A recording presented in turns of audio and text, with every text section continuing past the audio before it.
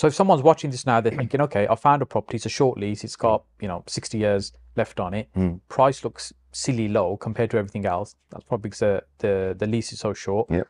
How do they determine what they need to pay for the extension? Are they going to be held over a, a barrel? Yeah, no, there's two ways, or more than two ways. But um, first thing you should do is look on Google, Yeah. type in lease extension calculator. Yeah. Normally, for top three, you got um top three or four actually calculators on there. I'd put in the details in those calculators and take a rough average of those three or four, and then I would also. so there's standard formulas that they'll use to work out roughly what the Yeah. payment would be. Yeah. exactly yeah. So you put in the ground rent. Um, one of them you put in the end date of a lease. Mhm. So if it's hundred years from now, then it's two one two three. Yeah.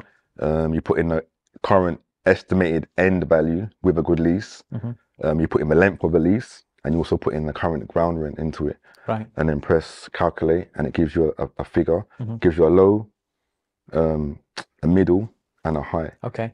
yeah, and then you take an average of obviously all of those and from those four different sites and then i also use my secret weapon um, my lease extension surveyor Okay. whenever i'm looking and i don't know the actual lease extension length i just email him Yeah. and then he sends me back um, an accurate quote of what it should be So he'll calculate based how he thinks it should be. yeah okay. because he's been doing So there's a standard years. method that they're following. It's not that somebody will think, well, you want a lease extension, I want 50 grand. exactly yeah yeah They yeah, can't just make up the numbers. yeah it can't be pie in the sky it has to be fair and reasonable according to the legal documentation Yeah. So um, yeah, so he's got a calculator on his computer.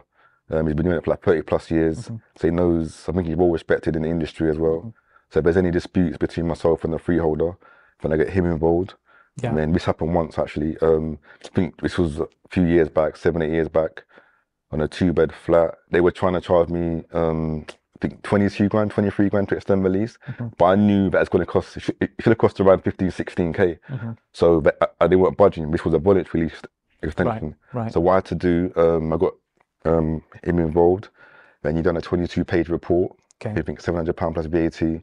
Sent it off to the freeholder. Mhm. Sent it off to the freeholder surveyor. Yeah. And then when they saw that, they came down in price to what it should be. Okay. So I paid roughly about a grand for his services, but you saved me about five six grand in that Yeah. instant. So they realize you know what you're doing. yeah, exactly. Yeah, rather yeah, than yeah, they're trying it on at the high rent, Yeah. you might be able to get away with it. exactly, Yeah. exactly. And to be fair, the people who own the freeholds, who Mm. grant the lease extensions, their business is will sit on these until someone yeah. like Jason comes along and exactly. wants an extension. Yeah. That's exactly. how they make their money. Yeah. Which is a different model. That's it, yeah. Yeah. Because yeah. I got a few like that as well where I bought the freehold to. So I'm a leaseholder.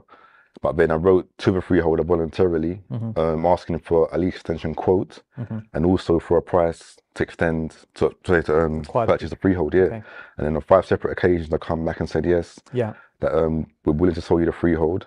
And I had to serve a section 10 thing, um, inform the flat, mm-hmm. the other flats as well, that Mr. Patterson, yeah, yeah, is, exactly, um, is interested in buying the freehold. Mm-hmm. Um, if we don't hear from him in 14 days, then he'll buy it. He'll buy it solely, or if you want to come in with him, then it'll be jointly. Yes. I mean, most of the time they come in with me, and yeah. we just purchase the freehold from the freeholder. Okay. So we're now owners. And then after that, we extended our own leases. Mm-hmm. Um, solicitors charge us about three hundred pounds to extend our own leases. Right sign up the documents, and then we put them to 999 um, going forward with peppercorn ground rent. So, which is uh, what they call a virtual freehold. Exactly. So it's the best you're going to get in Yeah. terms of a, a- new lease. And that's it, yeah. Yeah. What some people could do is just buy the freehold, keep the flat at that level, 72 or 60 odd years, whatever it is. Yeah. And then sell the flat. I mean, at some point, like you said, Yeah. that leasehold is going to come to you when you Yeah. to extend it, and then you can get um, a payday from it. Yes.